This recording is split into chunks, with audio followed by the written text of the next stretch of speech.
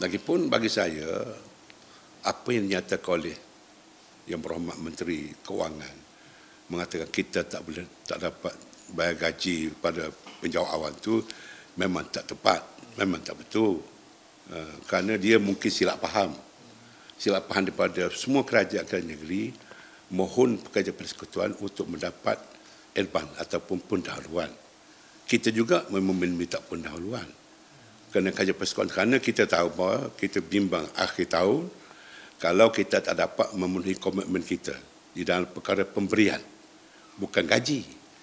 Bayar gaji cukup dengan 300 juta je kurang. Sebab pendapatan daripada hasil tanah dan hasil kayu kayan kita lebih dah daripada 300 juta. Bermakna tak berbangkit. Yang berbangkitnya kita uh, mengambil kira seandainya uh, akhir tahun cash flow. Walau bagaimanapun kita mempunyai sandaran yang kita mohon untuk adban tu ini saran kerana kerajaan persekutuan masih lagi belum membayar beberapa bayaran yang perlu dibayar pada kerajaan negeri. Contohnya premium tanah di IPG, IPG eh, latihan guru di Kuala Jepang sebanyak 113 juta. Yang patut bayar tahun ini.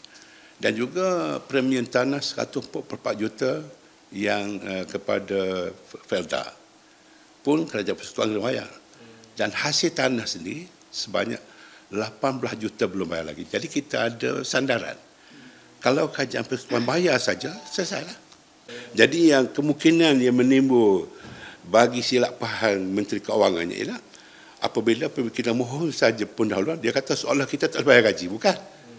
Ha, sebab gajinya hanya 300 juta saja. Bayar backup. Ah. Itulah. Jadi benda ni insyaAllah tidak ada masalah ke depan ni lah.